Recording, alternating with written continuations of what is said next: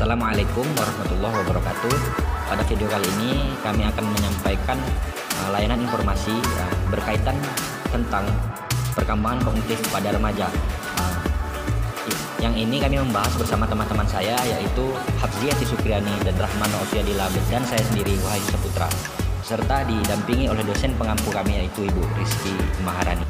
Oke, langsung aja kita simak penjelasannya. Memiliki anak remaja memang membutuhkan perhatian yang lebih banyak. Tidak hanya soal pertumbuhan fisiknya, perkembangan kognitif remaja juga menjadi hal tidak boleh luput dari perhatian. Masa remaja merupakan transisi perkembangan antara masa kanak-kanak ke masa dewasa. Fase tersebut mengandung perubahan besar fisik, kognitif, dan psikososial. Kemampuan kognitif remaja menjadi hal yang tak boleh orang tua lewatkan. Apa itu perkembangan kognitif remaja? Perkembangan kognitif remaja merupakan proses tumbuhnya kemampuan anak untuk berpikir dan bernalar. Pertumbuhan ini tentu berbeda dari masa anak-anak, dari usia 6 hingga 12 tahun, dan dari 12 hingga 18 tahun yang disebut sebagai masa remaja.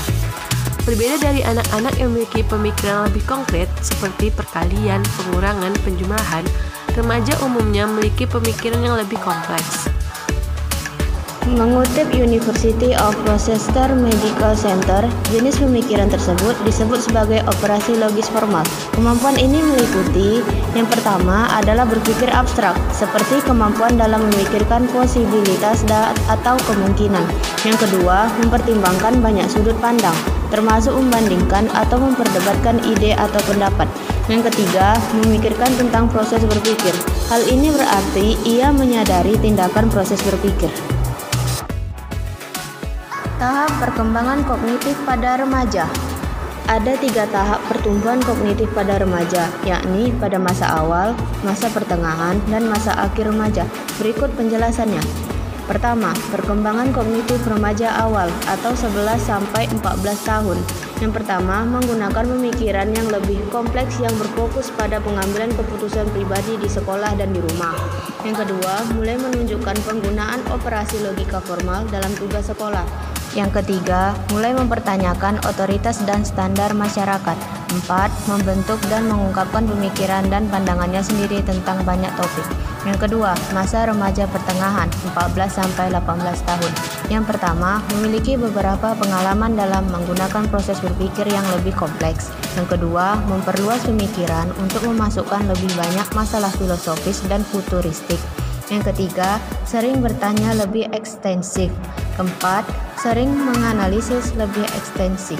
Yang ketiga, masa remaja akhir 18 sampai 24 tahun.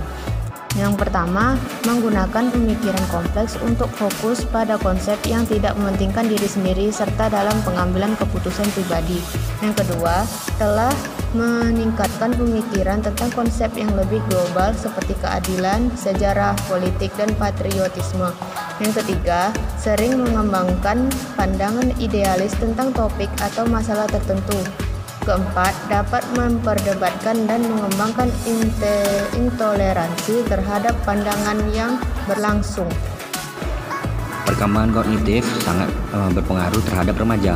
Dari perkembangan kognitif ini kita akan tahu bagaimana remaja tersebut. Kita juga akan tahu seberapa dewasakah remaja tersebut ketika berada di lingkungan sekolah maupun di masyarakat sekitar.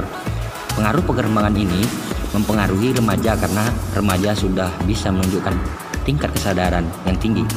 Mereka sudah beranggapan bahwa apa pun yang dilakukan pasti akan mendapatkan penilaian dari orang lain. Mereka merasa lebih banyak yang mengawasi mereka. Maka dari itu, jadilah remaja yang bisa membawa pengaruh positif kepada siapa pun. Karena jika kita membawa pengaruh positif, maka perkembangan kognitif akan selalu berjalan dengan positif dan sangat membantu para remaja dalam menjalani kehidupan sehari-hari. Terima kasih sudah menonton. Semoga bisa menjadi ilmu yang bermanfaat untuk semuanya. See you.